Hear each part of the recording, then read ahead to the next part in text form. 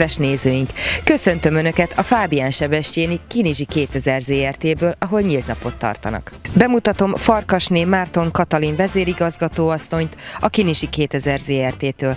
Kedves Katika, milyen elgondolás alapján rendezték meg a nyílt napot? Jó napot kívánok a Kurca Televízió minden nézőjének! Nagy öröm számunkra, hogy egy ilyen szép napon nyílt napot tarthattunk. Sokszor és, és sokan kerestek meg minket azzal, hogy szeretnék megnézni a teheneket. Szeretnék az új istálót megnézni, az új gépeket, és arra gondoltunk, hogy ez egy ragyogó alkalom, most ez a 60. évforduló, és aki a faluba kíváncsi, aki a nyugdíjasaink közül szeretne ilyet látni, vagy a szakiskolások közül, azt mi örömmel várjuk ma, mindent igyekszünk a munkatársakkal megmutatni, egy kicsit takarékra vettük a szokásos napi tevékenységünket, és akkor így van lehetőség arra, hogy elmagyarázzák, hogy mi miért van. De egyébként az iskolásokat és a szakiskolásokat elsődlegesen azért szerettük volna ide elhívni, mert van sok fiatal dolgozónk, de azt szeretnénk, hogy a jövőben is a gyerekeknek, a fiataloknak az érdeklődése megmaradjon a cég iránt, és az a munkaerő probléma, ami másod jelentkezik, az nálunk föl sem merüljön, mert szívesen és örömmel jönnének ide dolgozni ezek a fiatalok, ahhoz ismerni kell nekik a céget. Üdvözlöm Gajda Nikoletta szarvasmarha tenyésztési ágazatvezetőt. Kérem mutassa be a tehenészeti telepüket. Ez a tehenészeti telep 1996-ban keltőzött az átalakítása, akkor történt meg a kötött tartás kötetlenné alakítása, akkor egy kétszer nyolc állásos fullboot fejőházzal fejtünk, már akkor is modern technológiával, akkor is kihasználtuk a technológia adta lehetőségeket.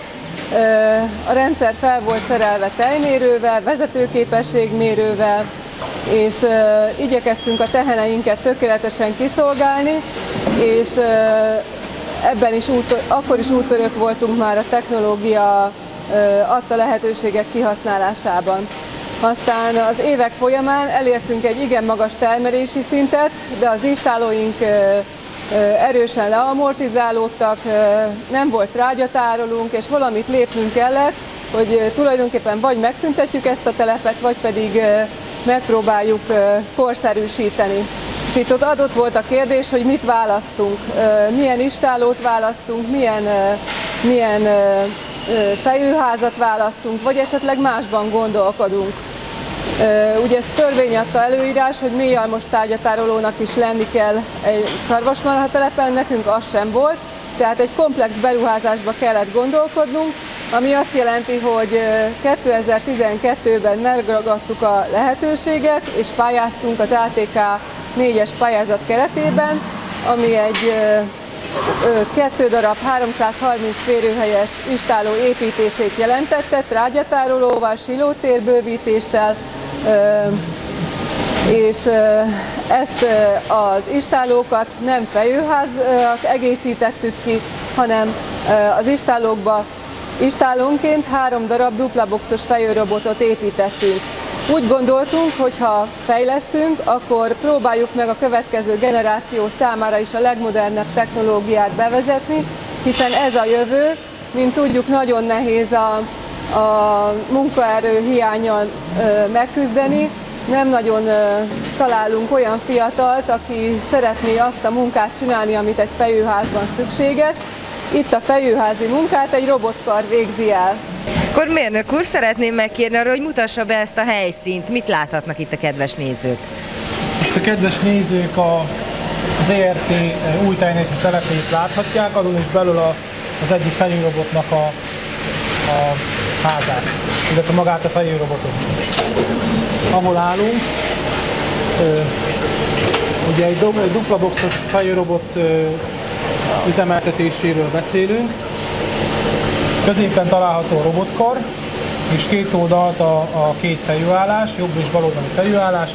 Ugye most láthatjuk, hogy beállt egy tehén fejésre, ez most éppen nem is jogosult fejésre, tehát ugye ez ki is, el is hagyja a fejőállást, majd jönni fog a következő, amely reményeink szerint jogosult lesz a fejésre.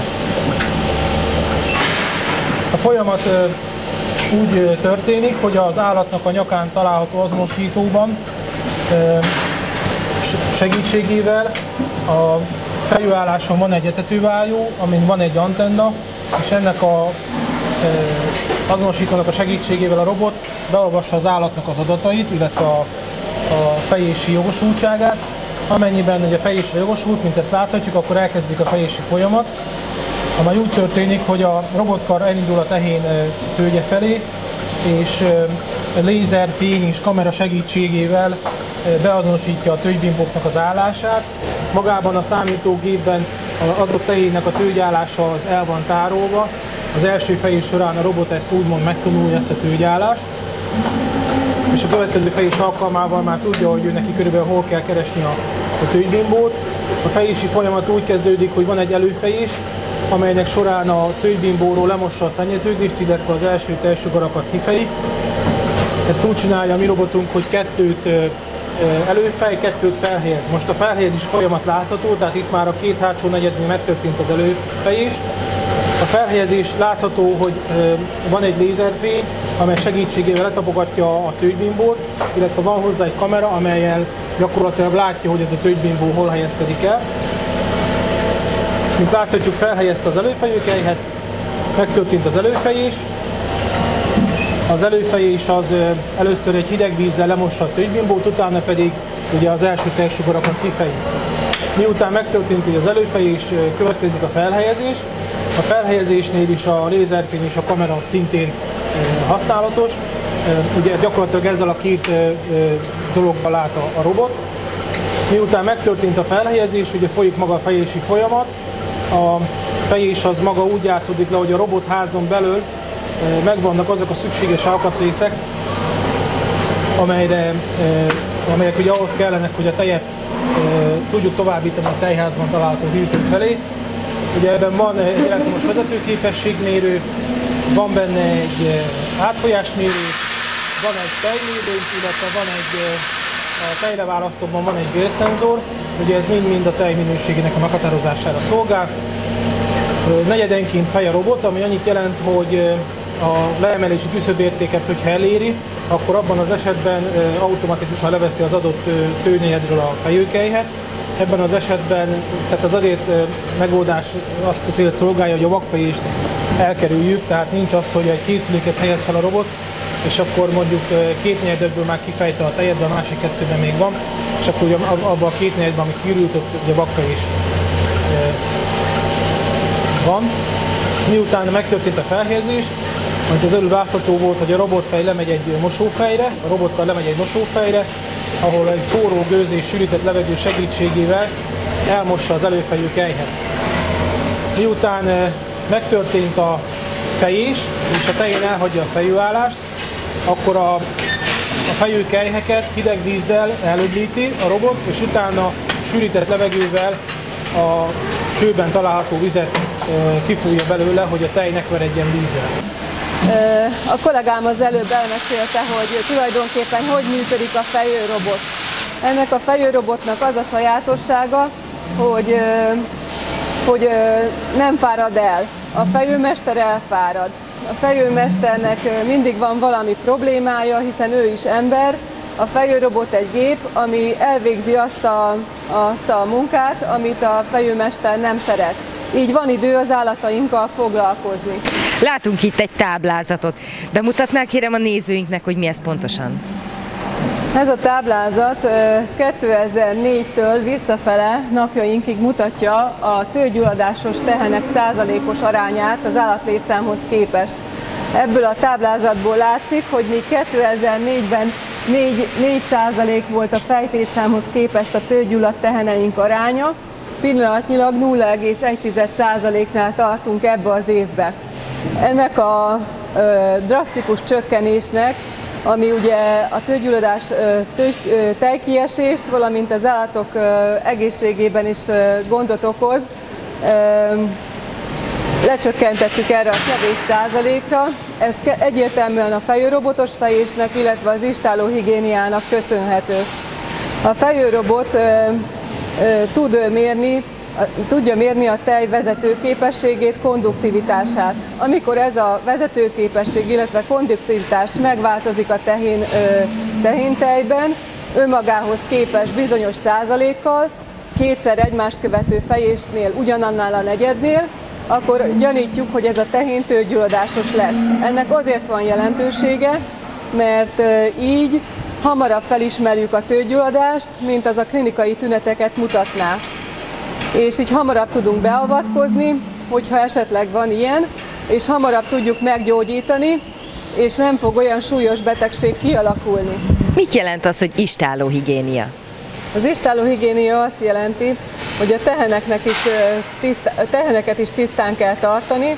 Ugye a növekvő almos technológiára, szalmára feküdtek a jószágok, három havonta kitrágyáztunk alóluk, illetve minden nap friss szalmával meghintettük az almot, de soha nem tudott tökéletes ö, ö, környezetet biztosítani a, a tehenek számára. Mindig akadt olyan tehén, amelyik ö, esetleg ö, szennyezett ö, szalmára tudott feküdni. Ezért ö, az idei évnek a beruházásának a keretébe kicseréltük itt a döngölt agyagot és szalmát a pihenő boxokba egy vízágyas pihenő matracra, ami így elég futurisztikusan hangzik egy laikus számára, de hogyha közelebbről megnézzük, akkor ez egy, ez egy igen egyszerű és igen kényelmes dolog.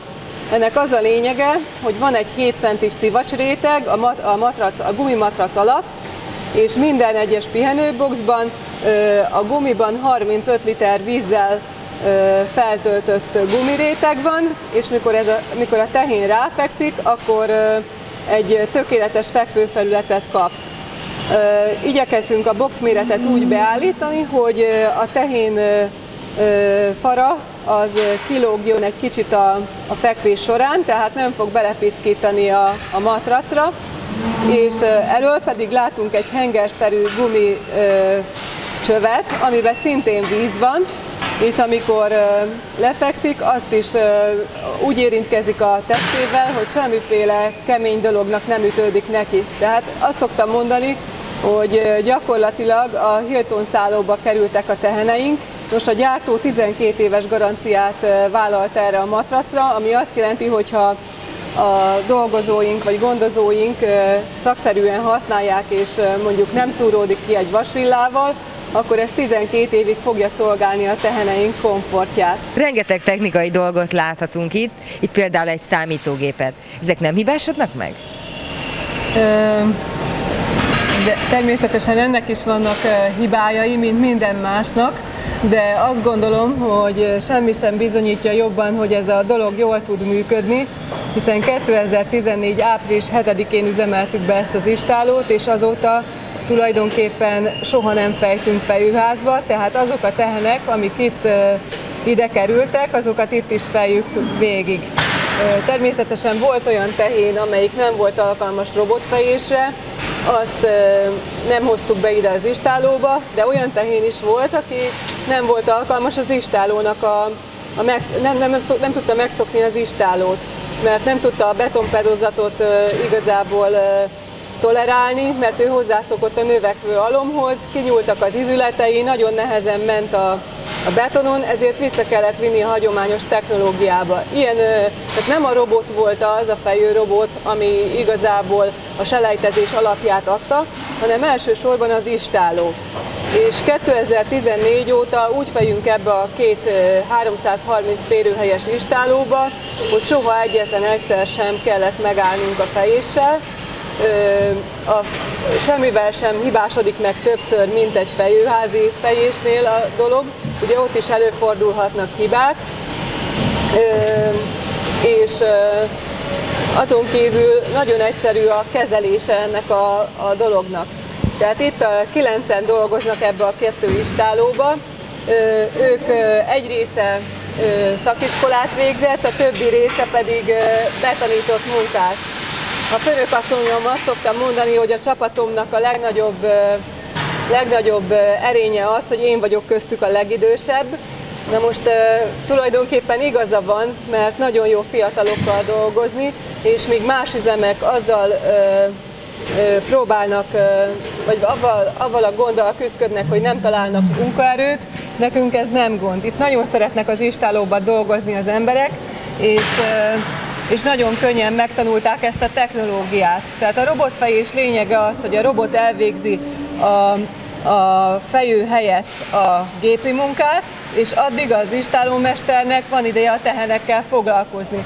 Talán újra állattenyésztők lehettünk, minden egyes tehénről tudjuk, hogy mi a helyzet vele, az istálómester ismeri őket, azt szokták mondani, hogy az ember agya 300 tehenet tud meg, megegyezni körülbelül, akkor azokkal tud foglalkozni. Tehát ha én azt mondom a fejőmnek, hogy, vagy az istálómesteremnek, hogy a 7104-esről mit tud, akkor az fogja mondani, hogy ez egy barna, barna színű tehén, és mindig ott szokott a középső sorban a pihenőboxba feküdni, vagy tudni fogja róla, hogy, hogy ezt nem szeretem azt a tehenet, mert az mindig lecsap, hogyha közelébe megyek, de tudok, tudok róla valamit, és ezáltal újra állattenyésztő lehetek.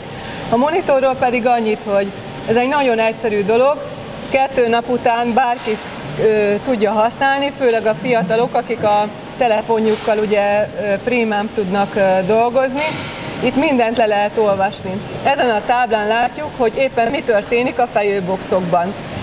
A számítógép tudja követni, hogy az adott tehén mennyi tejet adott az elmúlt 10 napban, vagy 7 napban, kiszámol egy átlagot, és hogyha ahhoz az, azt az átlagot nem adja meg, tehát kevesebb tejet ad, akkor ki fogja tenni egy figyelmeztető listára, hogy avval a tehénnel valami gond van, mert nem adta meg a várható tejét.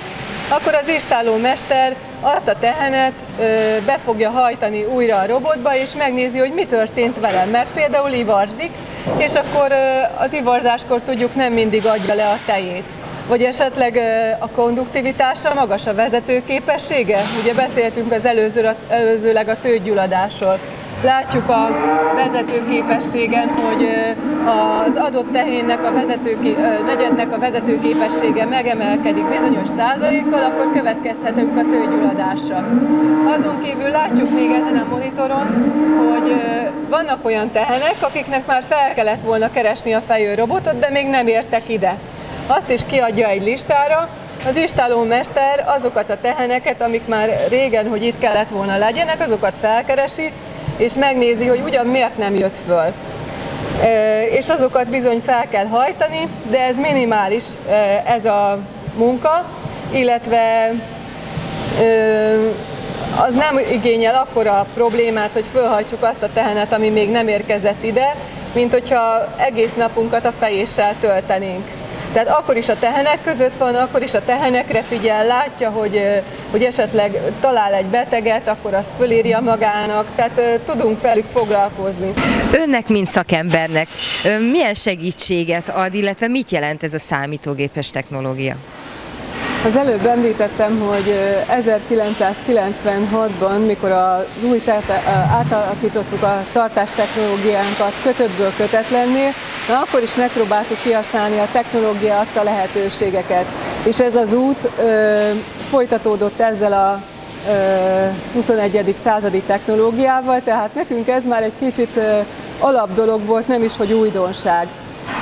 Azáltal, hogy a teheneinket mindenféle, teheneink mindenféle adatát számítógépen tartjuk nyilván, ez manapság már ugye nem nagy, nagy dolog, de ez a, ez a számítógépes rendszer egy olyan pluszot is ad, ami például ivarzás megfigyelésre használható, tehát a teheneknek a nyakában levő responder méri a tehenek lépéseit. Hogyha ez a lépésszám önmagához képes megváltozik, akkor tudjuk, hogy ez a tehén ivarzik. Ez egy óriási segítség. Ezt tudta a régi számítógépes rendszerünk is, de ez most már annyira pontos, hogy szinte két óránként küldi az adatokat, szinte tévedhetetlen abban, hogy ez a tehén biztosan ivarzó lesz. Azon kívül a számítógép segítségével be tudom állítani azt, hogy a teheneknek egyedi takarmányozásuk legyen. Tehát gondolok itt arra, hogy a tehenek teljesítményükhöz képest kapnak egyedileg abrakot. És az előbb azt is említettem, hogy újra állattenyésztők lehetünk, ami tényleg szép és jó, de egy állattenyésztőnek az is feladata, hogy gazdaságosan termeljen, és megpróbáljon fizetést adni a munkaerőnek, illetve megpróbáljon, megpróbálja visszafizetni azt a rengeteg hitelt, amit a pályázat során erre az istálóra rá kellett költeni. Ez csak és kizárólag úgy lehet megoldani, hogyha gazdaságosan próbálunk termelni. Itt minden tehén egyedileg kap abrakot, úgy vannak csoportosítva a teheneink, hogy vannak egy első borjas csoportunk, meg van a több laktációs csoportunk, szemben egy fejőházi fejésnél, ahol teljesen máshogy csoportosítanak. Ide, ahogy bejön a tehén ellés után, innen fogjuk elapasztani is, és valahogyan meg kell különböztetni a frissen ellettet a, a, a több laktációs, vagy a, a laktációbájába előre haradott tehéntől, és ezt úgy tudjuk megtenni, hogy energiaabrakot adunk neki 100 napig, plusz fehérjeabrakot, de mindegy személyre szabottan. Utána pedig attól függően, hogy hol tart a laktációjába, tehát hány nap telt el az ellés óta, attól függően fogunk nekik fehérjeabrakot adni, és hogyha egy tehén sok tejet ad, akkor ebben kompenzáljuk neki, hogy a robotban sok abrakot is adunk. Ugyanis a robotban az abrakadagolás nem csak azt jelenti, hogy próbáljuk oda csalogatni a tehenet, hogy szeressen bejönni a robotunkba, hanem ez pótabrakot is jelent a tejtermelés függvényébe. És azon kívül adunk neki egy szokásos úgynevezett TMR adagot, amit az etetőasztalra szórunk ki, amit minden tehén egyforma mennyiségben meg tud enni, és a kiegészítés a robotban történik, és ezáltal a takarmányozás gazdaságosabban tud, gaz, gazdaságosabb tud lenni, hiszen a tej önköltsége, a takarmány költség adja a legnagyobb hányadot. Kedves Niki, akkor megkérném arra, hogy a telepi tejtermelésről is beszéljen kedves nézőinknek. Erről a telepről tudni kell, hogy mindig is jó, magas szinten termelt, de ezzel az új technológiával napról napra jobb lesz a tejtermelésünk. Pillanatnyilag körülbelül 22 ezer kg tejet tudunk értékesíteni, ami azt jelenti, hogy 36 kilós fejési átlagot tudunk elérni mostanában. Ez azért tisztességes már, de szeretnénk elérni a 38-39 kg az év végére. Szeretnénk megkérni arra, hogy mutassa be a Bóci utcát a fiatal tévénézőink kedvéért. A bocik miután megszületnek, akkor egy napos korukig isszák az anyukájuk tejét, de rögtön belekerülnek ebbe a Steinman ketrecbe, és vödörből isznak. Utána pedig tejpótló tápszert kapnak, naponta kétszer, de szintén vödörből. És utána pár napos koruktól előttük van az abrak, illetve széna, ad libitum, az azt jelenti, hogy annyit tesznek belőle, amennyit szeretnének, természetesen amennyi a vödörbe van, és van előttük mindig tiszta ivóvíz. Ebbe a ketrecbe 60 napos korukig vannak, utána kerülnek csoportos tartásba, és akkor 10-12 hasonló korú kisborjú kerül egy csoportba. Az üszőket, illetve a bikákat külön tartjuk, illetve, mert az üszőket meghagyjuk továbbtartásra, a bikákat pedig eladjuk pár napos korukba. Ezért az üszők fognak kerülni a kis csoportos tartásba tulajdonképpen. Nagyon szépen köszönöm a beszélgetést. Én meg köszönöm a lehetőséget, hogy beszélhettem. Kérem mutatkozzon be, és mondja el azt, hogy mivel foglalkozik itt pontosan. Mészáros Ferenc vagyok, és a Kinizsi 2000 ZRT-nél külső szaktanácsadóként dolgozom. Teljhasznú tehenészetet segítem a munkámmal. És ön hogyan látja az állattenyésztés helyzetét? Az állattenyésztésen belül szigorúan szorítkoznék a teljhasznú tehenészetre és a teljhasznú tehenészetekre. Ugye azt tudni kell, hogy az ágazat az első fél évben erőteljesen nyomott tejárral volt sújtva, ami sok tehenészet esetében azt jelenti, hogy az önköltségen felüli áron állították elő a tejet, ami az első fél évben óriási mínuszt akasztott az adott ágazatoknak a nyakába, még a legjobbak sem tudták ezt kompenzálni, a legjobb szaktudással, a legjobb munkával. Sajnos a teljhasznú tejenészetnek a sikerességét erőteljesen befolyásolja a tejnek az ára. Köszönöm szépen a beszélgetést. Engedjék meg, hogy bemutassam Sebesi István műszaki vezetőt. Szeretném, ha röviden ismertetné nézőinknek az itt kiállított mezőgazdasági gépeket. Köszönöm a nézőket. A mögöttünk található gépek a gépparkunknak csak egy részét képezi, tehát ennél azért sokkal több gép áll rendelkezésre, és akkor talán menjünk közelebb is, akkor ott beszéljünk ezekre egy pár szót. Akkor szeretném megkérni arról, hogy elsőként mutassa be ezt a nagy piros gépet. Ez a nagy piros gép, ez egy Quernelan típusú direktvetőgép. Erről azt kell tudni röviden, hogy ez 6 méter munkaszélességgel bír ez a gép. Ez gabona és apró vetésére alkalmas. Ugye a direktvetőgép, mint nevébe is hordozza, ez ugye alkalmas arra, hogy egy menetben a, megcsinálja magának a talajt is, és elvesse a vetőgép, elvesse a magot is. Itt láthatunk egy szélmalomhoz hasonló gépet, akkor megkérném arra, hogy mondja el a kedves nézőknek, hogy ez mire szolgál pontosan. Ez nem szélmalom, ez egy, ez egy rendképző gép. Ennek ugye a feladata a fűkaszálta, a lekaszált terményt, szálas takarmányt rendet képez, ami rendet aztán a bálázóval tudunk felszedni, és úgy tudunk belőle eh, tárolható tömegtakarmányt készíteni. És ezek a pótkocsik mire szolgálnak? Ezek nem pótkocsik, hanem ezek szerves tárgya gépek. A állattenyésztési telepen képződő szerves trágyák, ezekkel a rontatott szerves tárgya szórókkal ütöttjük ki a táblákra. És itt a mellettünk látható gépről mit lehet tudni? Ez egy körbálázó, ennek feladata a, a szalma betakarítás, illetve a széna betakarítás során van jelentősége. Kör alakú bálákat tudunk készíteni, illetve ebben van még egy aprítókés is, amelyel a szenás készítés során a bálázandó terményt fel tudjuk aprítani, amelyet utána becsomagolunk, és azután kerül a felhasználása takarmányként. És erről a traktorról mit lehet tudni, ami a bálázót vontatja?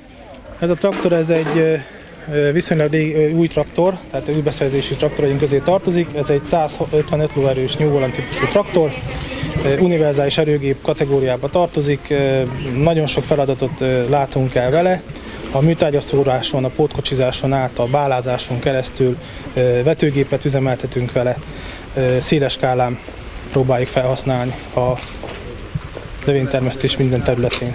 És itt a hátam mögött lévő nagy zöld traktorról mit tudhatunk? Ez egy fenntípusú 936-os varióváltós traktorról beszélünk, ezt teljesen új beszerzése a cégnek. Erről azt kell tudni, hogy ez 360 lóerős ez a traktor, mint látható egy monumentális nagy gép. Nehéz talajmunkákra is szeretnénk ezt a gépet felhasználni. Ebben ugye gyárilag van egy beépített hidraulikus robotkormány. És erről a sárga gépről mit lehet tudni? Ez a sárga gép, ez egy önjáró címerezőgép, ez a kukorica, hibrid kukorica termesztése során egy nagyon fontos gépe annak a technológiának. Ugye a, a kukorica előállítás során a, a címerezésre nagyon nagy gondot kell fordítani. Emberi erővel is meg lehet ezt a dolgot oldani, de nekünk elég sok területen van, vagy volt az idén hibrid kukoricánk, és ugye ezért döntöttünk az mert, hogy egy ilyen gépet megvásárolunk.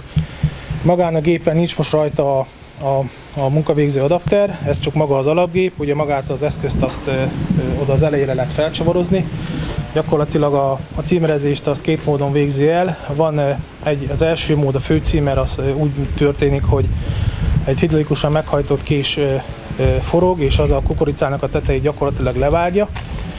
Miután ugye ez a címer újra elkezd kibújni, utána van a második címerezés, amikor van két egymással szemben forgó gumihenger, ami ezt a kibújó címert megfogja és kitépi a kukoricából. Szeretném megkérdezni, hogy éppen milyen gép alatt állunk? Ez a gép egy hidas traktor, vagy önjáró permetező. Ez a, az RT egyik büszkesége.